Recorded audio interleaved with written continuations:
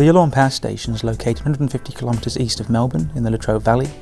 We're a 1,480 megawatt site. We produce around about 23% of Victoria's output, which is about 8% of the national. The maintenance at the power station is provided by an alliance between Silcar and Yallourn Energy, which is an organisation of several hundred people. Well, we've got a range of equipment here, and one of those is, is chimneys, and uh, they're very old, and uh, they can suffer from cracking on the internal surface. Uh, for us, we need to ensure that we've got the right people looking at that information to advise us on what sort of repairs we need to undertake. And uh, we've got particular specialists in the UK that are able to give us advice on this, but we wanted to get the information directly to them live so that we could have immediate feedback on any issues that were found as we were doing the inspection.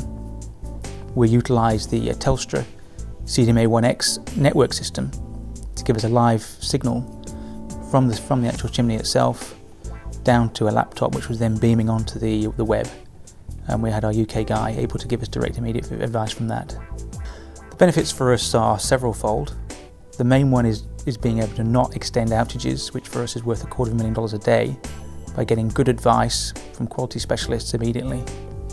Uh, in addition, there's a further savings in the cost of sending out specialists. In this particular case, it was a UK specialist, which was a cost of around about $10,000. In using this technology, we're able to get a, a, hard copy or a sort of electronic copy of the actual images of the chimney, which we can store for condition information for the future. We can compare against this to see if there's been any deterioration on the chimney itself. Uh, there's a wide range of applications that you can use this technology on.